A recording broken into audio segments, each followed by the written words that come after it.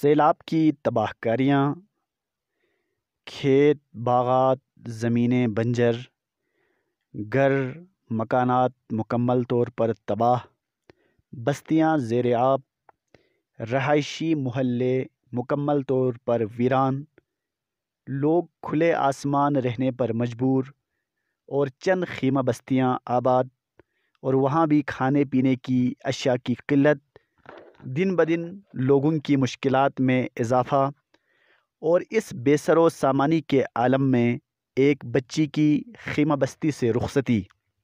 جی ناظرین، جیسا کہ میں نے اس پر پہلے بھی پروگرام کیا تھا کہ سندھ قمبر شہداد کوٹ کی ایک بستی حالیہ سیلاب میں مکمل طور پر تباہ ہو گئی ہے اور یہاں کے لوگوں کی مشکلات ختم ہونے کا نام ہی نہیں لے رہی۔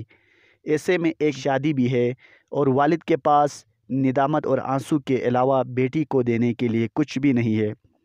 ان خیمہ بستیوں میں بچوں کے لیے قرآن مجید سکھانے والے بھائی سجاد حسین کے مطابق یہاں کے لوگوں کے مسائل ابھی ختم نہیں ہوئے۔ حکومت اور کچھ دیگر نام نہاد فلاحی ادارے چند دن تک یہاں پر زبانی جمع خرش کرتے رہے۔ اب ان کی مشکلات کا مداوع کرنے والا کوئی بھی نہیں ہے۔ ان کی بحالی کے لیے کچھ بھی نہیں کیا گیا۔ اب ان خیمہ بستیوں پر دھن کا راج بھی ہے اور سردیوں سے بچے راتوں کو ٹھٹھر رہے ہوتے ہیں۔ میں اس ویڈیو کے ذریعے ایک بار پھر تمام مخیر حضرات، فلاحی ادارے اور متعلقہ سرکاری اداروں کے ذمہ داران سے گزارش کرتا ہوں کہ ان کی مشکلات کو سمجھیں اور ان کے لیے دل کھول کر عطیات دیں۔ ان کی امداد کریں، خصوصاً جس مومن بھائی کی لاڈلی کی شادی ہے۔ ان کے لیے خصوصی تعاون فرمائیں۔ یہ دنیا میں بھی آپ کے لیے کامیابی کا ذریعہ ہوگا اور توشہ آخرت بھی ہوگی۔